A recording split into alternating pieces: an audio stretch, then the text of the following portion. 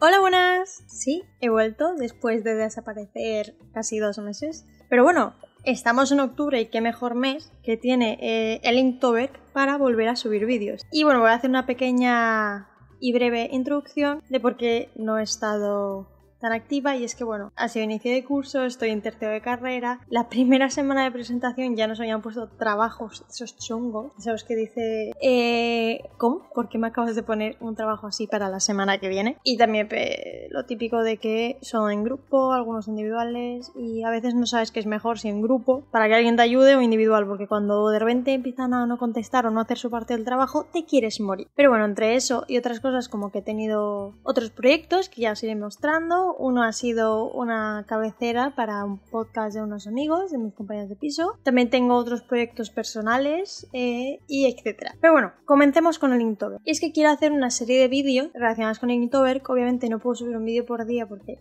no me da la vida si he estado desaparecida casi dos meses es porque mis capacidades no me lo permiten, pero quiero hacer como una recuperación y es que aunque no esté subiendo vídeos, estoy dibujando y si me seguís en Instagram, que lo tenéis abajo en la descripción, veréis como cada día del Inktober subo pues el dibujo correspondiente. Así que lo que quería hacer en YouTube es grabar el proceso de, 5 en 5 y poder subirlo simplemente un, vídeo a la semana. Es que bueno, este es el primer dibujo, que la verdad no me gustó nada, está horrible, no me gusta, es horrible, dejémoslo ahí. Que era sueño, si no me equivoco, la palabra. Y también pues eso, no había dibujado hace mucho, entonces estaba bastante, bastante fría en lo que es dibujar, ¿no? Entonces el dibujo está horrible.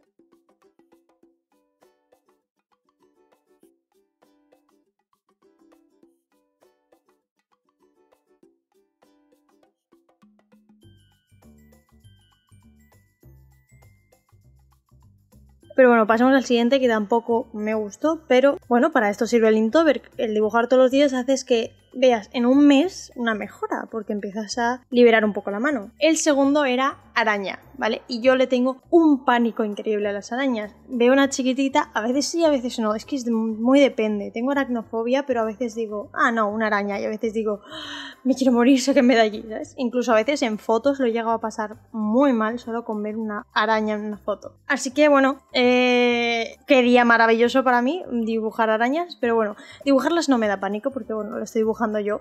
Es más, quería que se viera creepy, no sé si lo conseguí. Y pues hice pues una araña saliendo de la boca de una persona a lo Billie Eilish, porque qué mejor, ¿eh? esos pelitos de las arañas tan ricos, seguro que se siente genial que te salga una araña de la boca. Y como estamos en el mes de octubre y en el mes de Halloween y del terror, pues eh, aunque hay dibujos más family friendly, sí que es verdad que me gustaría pues llevar en todo un poco a lo siniestrillo, porque también me gusta mucho los dibujos de ese estilo y hace mucho que no dibujaba porque estaba dibujando más fantasía con la con el hada eh, Owen y todos esos pues me apetece volver a esos dibujos un poquito más macabros que son los que me gustan. Mi parte mi parte calabaza no que hablando de eso eh, estoy pensando entre mis proyectos para YouTube que son diferentes a mis proyectos personales, pues en eso, hacer más vídeos de Lore y decirme si os interesa eh, tutoriales de Blender de alguien que no sabe Blender y que va a seguir tutoriales para explicar tutoriales eh,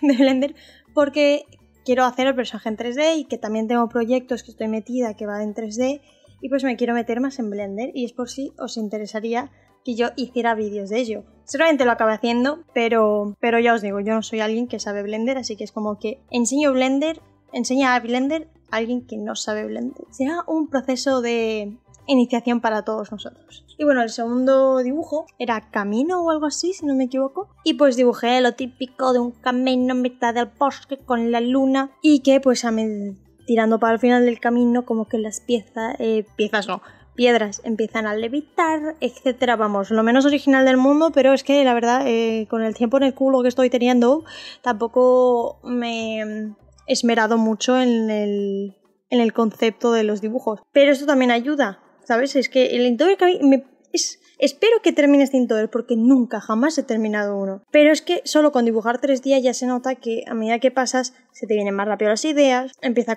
a coger más agilidad con, con el dibujo Y sobre todo si has estado como yo eh, casi dos meses sin dibujar nada, de nada. Eh, ni una cara, ni siquiera en una libreta, nada. Entonces eso. También quiero explicaros cómo, cómo estoy haciendo el Inktober. Sí que es verdad que Inktober pues su esencia es dibujar en tinta, en papel, pero que no me da la vida, como ya he dicho 50 veces en el vídeo, no me da la vida y a mí pues eh, dibujar en digital se me hace mucho más rápido y fácil, además que lo puedo llevar a cualquier parte, no necesito que si este rotulador que lo tengo aquí, que si tal, que si se me estropea volver a empezar, no, esto me lo puedo llevar a clase y eh, espero que mis profesores no escuchen nunca esto, pues la verdad que me da igual, no creo que me conozcan ni siquiera, em, pues mientras ellos están explicando y obviamente yo atendiendo, obviamente, claro, eh, pues hago aunque sea los bocetillos para ya en casa hacerle el dibujo, cosa que a veces en, en, papel pues no se me hace tan fácil ni tan rápido. Y que también sería un fastidio de grabar porque yo no tengo como un setup como para poder grabarme la mesa dibujando, ¿sabes? Así que, bueno, en conclusión, que el digital para grabar vídeos es lo más fácil.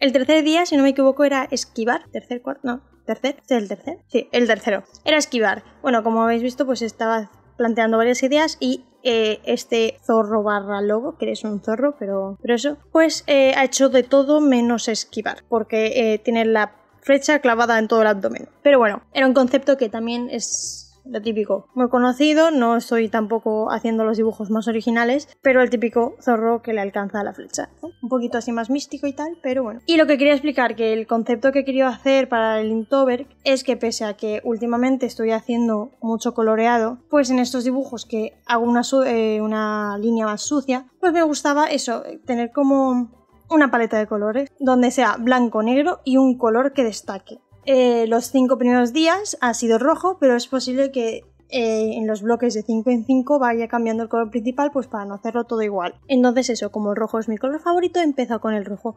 Que igual para otras palabras habría sido mejor utilizar el rojo, pues puede ser. Si me gusta mucho mucho un dibujo de estos, pues haré lo que quiera con ellos, cogeré el dibujo y si quiero pintarlo entero, lo pintaré entero.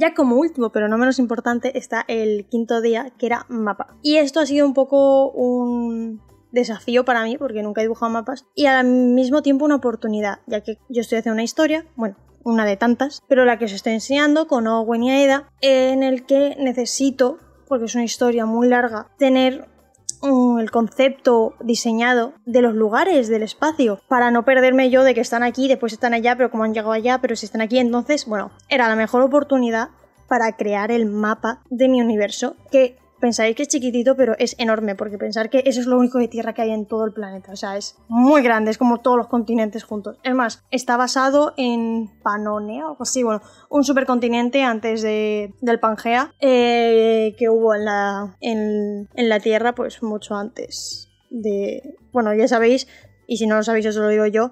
Eh, Pangea no ha sido el único supercontinente, sino que han habido bastantes transformaciones de la Tierra eh, a lo largo de toda la vida en la Tierra, que ha sido muchísima, y pues se ha ido formando hasta tener los continentes que hoy en día tenemos. Entonces, bueno, está inspirado en un supercontinente que hubo hace bastante tiempo, que ahora Panonea o Pantonia o algo así se llama. Y pues bueno, este es básicamente eh, un poco el concepto, igual en un futuro lo cambio, igual no, pero ya me sirve una guía bastante más detallada de mi mundo. Y también para que vosotros sepáis cuál es el reino de Ginzendo, que es donde vive Owen, el reino de al lado, que es Filidentia, que le voy a cambiar el nombre porque me recuerda a Filadelfia. Y bueno, y como veis en el mar, pues hay algunos como el Torm... Eh, Tormat... ¡oh! no me sale ni a mí el nombre y es mío, es mi personaje.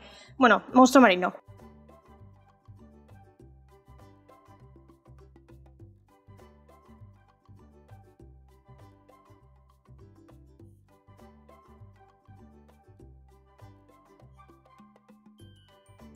Y eso, bueno, eso es todo. Así que bueno, espero que os haya gustado los cinco dibujos. Eh, prometo que me saldrán mejor. Aquí podéis verlos cómo están y ver cuál os ha gustado más. Decidme en los comentarios si, pues, si alguno os ha gustado, si no, si cambiaréis algo, etc. Recordad que tenéis mis redes sociales también y que comentar y darle like me ayuda muchísimo para ver que os gustan los vídeos. Eh, seguís aquí y aunque me haya ido dos meses, no ha desaparecido todo el mundo y poco más. Nos vemos en cinco días.